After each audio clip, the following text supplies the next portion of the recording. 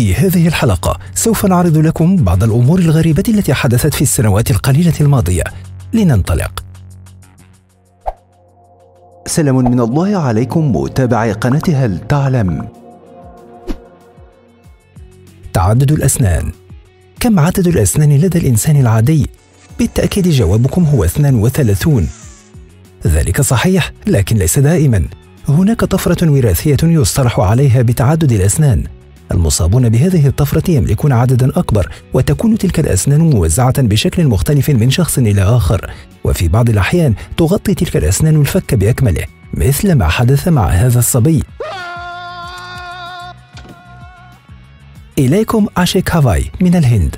في عام 2014 أصبح هذا الصبي مشهورا بسبب التجربة غير العادية التي مر بها. خلال سبع ساعات كاملة أجرى الجراحون عملية جراحية لإزالة الأسنان الإضافية التي بلغ عددها. اسمعوا جيدا 232 سنا. كانت تلك الأسنان تسبب له الكثير من المتاعب أثناء الأكل إضافة إلى الألم الشديد. سيارة الأسماك.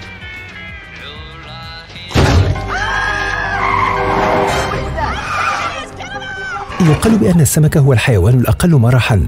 لا يمكن اللعب مع الأسماك فهي دائما في الحوض المائي ولذلك يراها البعض على أنها حيوانات مملة جدا. لكن بعض المهندسين في استوديو تصميم هولندي كان لهم رأي آخر بصناعتهم لهذه السيارة الصغيرة. بالتأكيد لم يتمكن المهندسون من تعليم السمكة القيادة لكن بدلا من ذلك قاموا بوضع كاميرا تراقب السمكة بعناية وتحدد اتجاهها. ثم يتم إرسال المعلومات إلى جهاز الحاسوب الذي يعدل اتجاه حركة السيارة ليكون بنفس الاتجاه الذي تريده السمكة. بفضل هذا التصميم اللطيف يمكن للأسماك اليوم التجول في المنزل أيضا. كما أن سرعة هذه السيارة بطيئة جدا وذلك للحفاظ على سلامة السمكة العسل الملون. منذ بضع سنوات تعجب منتج العسل في شمال شرق فرنسا من ظاهرة غريبة وفريدة من نوعها حيث بدأ النحل في إنتاج عسل ملون. بالتأكيد يكون العسل في العادة مختلف الألوان مثل الأبيض والأسود والأصفر لكن ألوان هذا العسل كانت فريدة من نوعها. حيث أنتج النحل العسل باللون الأزرق والأخضر والأحمر أيضا. توقع البعض أن النحل يتطور ويتجه لإنتاج ألوان جديدة لكن ذلك غير صحيح. فهذه الحشرات تصنع العسل بألوان مألوفة منذ آلاف السنين دون أي تغيير. عند البحث عن مصدر الألوان كانت المفاجأة. إنها الحلوى. تبين أن المكان الذي تتواجد به خلايا النحل قريب من مصنع لصناعة الحلويات وقد تم تخزين بعض الحلويات في صناديق غير محكمة الإغلاق. رغم ذلك وصل النحل إليها. على الرغم من أن العسل الملون كان مظهره جميلا إلا أن طعمه كان غير مألوف ولذلك قرر المنتجون عدم بيعه. سيرك الهولوجرام.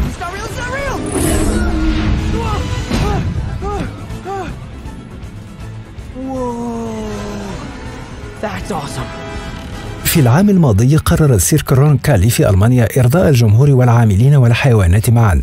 من أجل ذلك تم تقديم العروض بواسطة خيول وفيلة ونمور وحيوانات أخرى عديدة لكن كل تلك الحيوانات كانت صورا ثلاثية الأبعاد معروضة بتقنية الهولوجرام استغرق الاستعداد للعرض الكثير من الوقت حيث تم تصميم كل حيوان بشكل منفرد. كما تم اللجوء للعديد من الصور والفيديوهات لتكون الحيوانات أقرب ما تكون للواقع.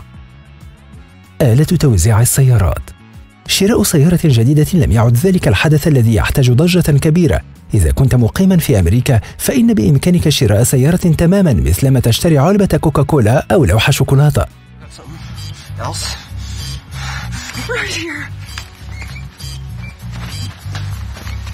Hey, Jake, take a break. I got this one.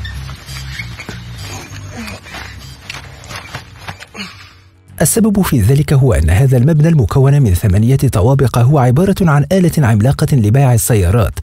يوجد في الطبق الأرضي ركن للانتظار. كل ما يقوم به الزبون هو اختيار السيارة المناسبة ودفع ثمنها عبر الإنترنت ثم يحصل على سيارته بطريقة آلية.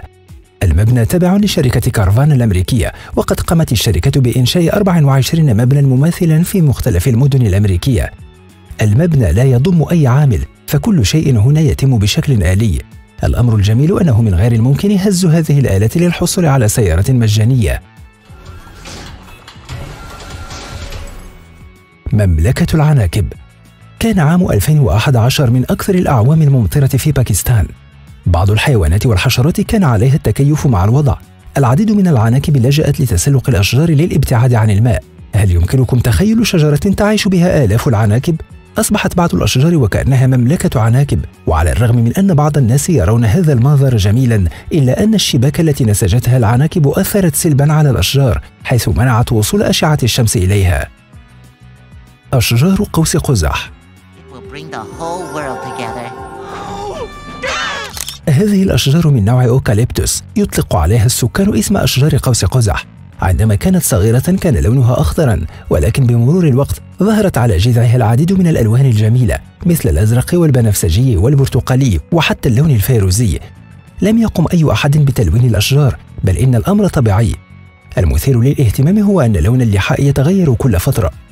تتواجد هذه الأشجار في بعض الغابات في الفلبين وإندونيسيا وفي بابوا غينيا الجديدة. موجة النحل. يظهر النحل مهارات غير عادية. خلية النحل يمكن أن يصل وزنها أحيانا إلى 45 كيلوغراما. وهي موطن لمئات الآلاف من النحل.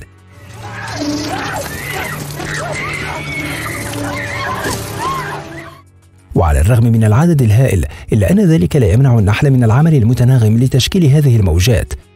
الحركة المتزامنة للنحل هي آلية دفاعية حيث تجعل أي حيوان مفترس يقترب من الخلية يشعر بالخوف ويعتقد بأن ما أمامه هو حيوان ضخم.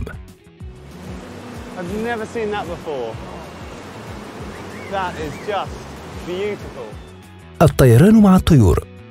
هذا الرجل الذي سنتحدث عنه بطل حقيقي اسمه كريستيان مولك وهو عالم طيور. يقول كريستيان إنه كلما زاد عدد الطائرات في الجو زادت صعوبة الهجرة السنوية بالنسبة للطيور. لا أحد يمكنه تقليل عمليات الطيران المدني أو التجاري من أجل الإوز والبط. لذلك وجد كريستيان طريقة مناسبة لتقديم المساعدة لهذه الطيور. منذ عام 1995 بدأ كريستيان تربية الإوز البري واشترى طائرة خفيفة الوزن وأصبح يهاجر مع تلك الطيور بين كل من ألمانيا وفرنسا. الفكرة قد تبدو سخيفة في البداية لكن كل ما يهم كريستيان هو أن الطيور لن تشعر بالخطر كما أنها ستسلك الطريق الأكثر أمانا. فستان نسيج العنكبوت. هذا الفستان الموجود أمامكم منسوج بشكل كلي من شباك العنكبوت. في مدغشقر يعيش صنف خاص من العناكب. شباكه مرنة للغاية ومتينة والأهم من ذلك أن لونها طبيعي ذهبي.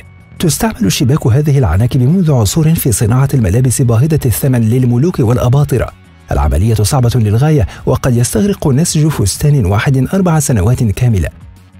يتم تجميع الخيوط وفصلها باستخدام أجهزة خاصة بعدها يتم نسج الثوب بطريقة تقليدية.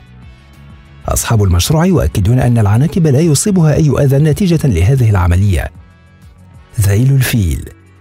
قد يبدو ذيل الفيل امرا غير مثير للاهتمام لكن إذا نظرنا إليه عن قرب سنجد أن نهاية الذيل تشبه الفرشاة وأن الشعر يرتكز بشكل رئيسي على الجانبين. يقال إن الفيلة تستخدم ذيلها لإبعاد الحشرات. حسنا. الفيل قدير على إفراز مواد تساعده على إبعاد مختلف الحشرات لكن ذيله أيضا يساعد في هذه العملية. لكن إذا نظرنا جيدا إلى الفيل فسنجد أنه ضخم للغاية وهذا الذيل القصير لن يساعده كثيرا. إليكم المعلومة التالية. المعروف هو أن الفيلة تتنقل في مجموعات ويرى العلماء أن الاستخدام الرئيسي لذيل الفيل يتمثل في تحديد موقع الصغار الموجودين خلف الفيل لتجنب دهسهم.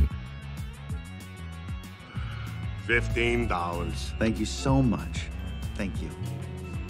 Oh no, are you kidding me? I don't have my wallet. إن عجبكم موضوع اليوم من قناة هل تعلم فلا تبخلوا بالإعجاب والاشتراك يمكنكم أيضا متابعة فيديوهاتنا السابقة جميع الحقوق محفوظة لدى قناة هل تعلم